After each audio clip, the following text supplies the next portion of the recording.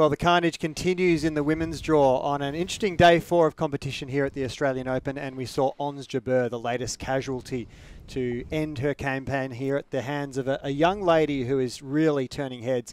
Welcome Kate Burton to the AO show for the first time, and this teenager, Mirra Andreeva, is really something. My goodness me, doesn't she make us feel old? 16 years old, and one of the favourites, certainly with the crowd, Ons Jabeur crashing out of the Australian Open. But what a performance it was by the 16 year old. I mean, we know her from last year because she won the girls' title, and now is coming in and making a massive statement early on in the first week. And some impressive stats from that match, certainly. Well, the scoreline 6 love, 6 2. Uh, it's a boil over Simon, whichever way you look at it. Well, that's quite some progression, isn't it? From being junior champion 12 months ago to storming through a match like we saw um, from her today. So impressive probably doesn't do it justice. Um, and I think you set the tone for a match like that early.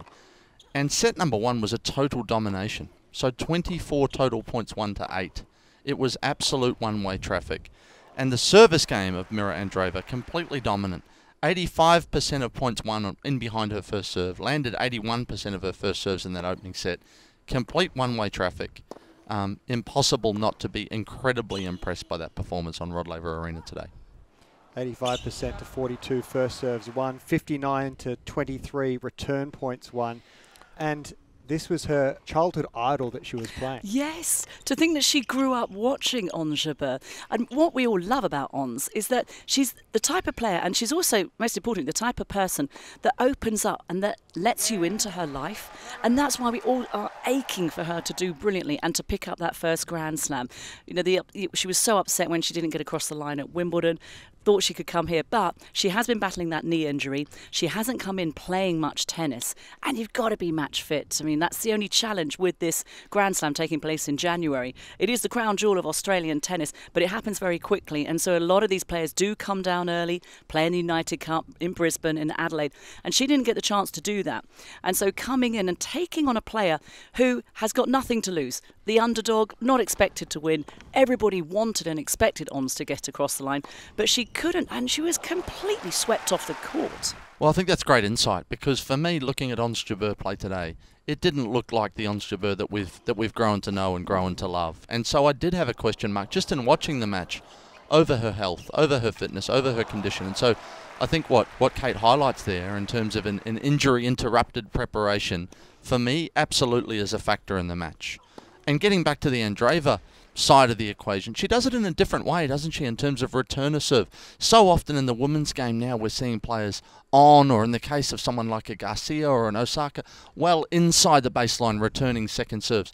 Andreeva's prepared to yield ground. She's more than happy to go back in the court. She wants to start that battle of attrition, if you like, to utilise her physicality to the fullest extent. And, and what a mover she is, incredibly agile and lightning quick around the court. So I love the fact that from a returner serve perspective, she does it, does it in a different way to most of her peers. Yeah, yeah, it's going to be exciting to see how she progresses because she's got nothing to lose. She's claimed a huge scalp already, and uh, the world is bright. The world is very exciting for Mirra Mirra Andreeva. Let's see what happens in the next round. Yep, her first top ten scalp in her career. Um, heaps more to be written in this wonderful story of what very much could be one of the brightest stars of the next decade or so in women's tennis. Turning our attention to day five, Kate, and we see a most fascinating battle between two very popular men around here, Grigor Dimitrov, the 13th seed, and Australian Thanasi Kokkinakis. Yes, well, Dimitrov, I mean, let's face it, for the ladies, he's pretty easy on the eye, so there's one good reason to watch him. His tennis isn't bad either. But, you know, Kokkinakis, what an epic five-setter that was, hey, Simon. It was compelling viewing. And what was so good that he was acknowledging the crowd afterwards in his post-match interview that helped him get that victory. I loved what he said when he won. He goes, Look, I've got the attention span span of a three year old. So, you know, you guys got me across the winning line to seal that victory. And uh, it's going to be a tall order for him to take down Dimitrov, who's only won a couple of weeks ago. Uh, I believe that was in Brisbane, yes. wasn't it? And uh, the last time Dimitrov won in Brisbane, he then went on to reach the semi finals of the Australian Open. His best result. Yeah, so he's gone deep. And, uh, you know, a player who has tasted a huge amount of success, has a lot of experience. But Kokkinakis coming into this championship, having the crowd on his side. Let's hope, because uh, the Aussie fans they love getting behind a player. I mean, this, the atmosphere it's a bit different to Wimbledon, isn't it? This happy slam. yeah, I think that's safe to say, Kate. And it wouldn't be an Australian Open on John Cain Arena without one of the special Ks yeah. leading a raucous atmosphere, a, a crazy environment over there on John Cain Arena last night, and ultimately Kokkinakis is able to prevail in a really um, amazing, uh, entertaining clash. I wonder, I do wonder whether there's a physical toll to be paid for that. And we saw Dimitrov looking so sharp in Brisbane. He was electric with his movement, as aggressive as I can ever recall seeing him play. Um, so I think it's a recipe that, as you both highlight, has worked so well for Dimitrov in years gone by when he started his campaign so strongly down under. Uh, I think it's a formidable task for Thanasi tomorrow night, but but as Kate says, not an impossible one. Well, Dimitrov had a pretty brutal battle in tough conditions against Marton Fucsovics in that first round, a four-setter. Who do you think stands up better in a, in a second round? Who recovers better from that? Thanasi in a five-set match later in the day, or Dimitrov, an aging Dimitrov in the heat of the day? I think it's hard to tell. I mean, they were both jumped in the ice bath afterwards to recuperate and uh, you know take any inflammation out of their body that they can to be ready all of these players, anybody who is playing in a Grand Slam, has got the movement, they've got the physical attributes to play at the very best. It's still early in the first week. Yeah, it's only going to be the second round match. So I don't think fitness will be a huge problem. I think if it was this time next week, it would be more of a conversation.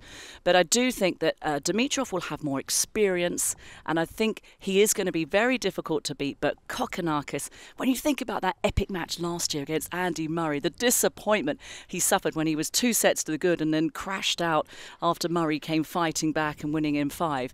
But I think he will learn from that experience and he'll want it so badly. And maybe if he's going to play with his heart and he's going to put everything out there on the line, you never know. And that's the beauty of sport. That's why we're here and why we love this championship so much. Simon, who are you giving the edge to? Well, I think Kokkinakis has got the weapons to certainly be competitive on serve and forehand, and, and he'll serve it up to Dimitrov. So I think the challenge for Grigor is can he maintain that aggressive style, the the the proactive approach we've seen from him so far in season 2024. I think he gets it done, but I think it goes four or five. And Kate? I think Dimitrov, I'm, I'm, sitting with two Australians either side of me, okay? don't, don't beat me up. I think Dimitrov is going to win in four. Okay, thank you, Simon, Kate, and uh, come back tomorrow for more of the AO show. To hear the episode in full, check the link in the description below to subscribe wherever you get your podcasts.